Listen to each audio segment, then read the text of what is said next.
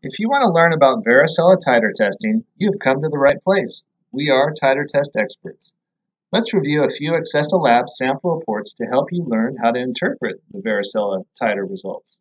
Most schools and workplaces want to see a quantitative or numerical result, which can be found under the result header on the sample report, right here. This sample report has a result of 2.13. Based on the Quest Diagnostics Results Index shown here,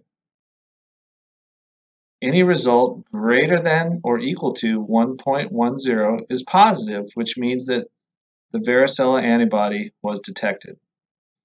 Therefore, this sample report represents a positive result.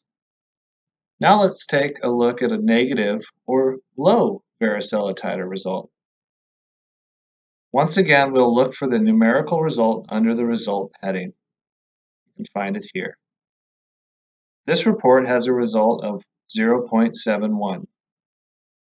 You might also notice the low notation under the flag header, right here. Based on Quest Diagnostics Result Index, any result less than or equal to 0.90 is negative, which means that no varicella antibody was detected. Therefore, this sample report represents a negative result. If you have additional questions, please feel free to email us at help at accesalabs.com.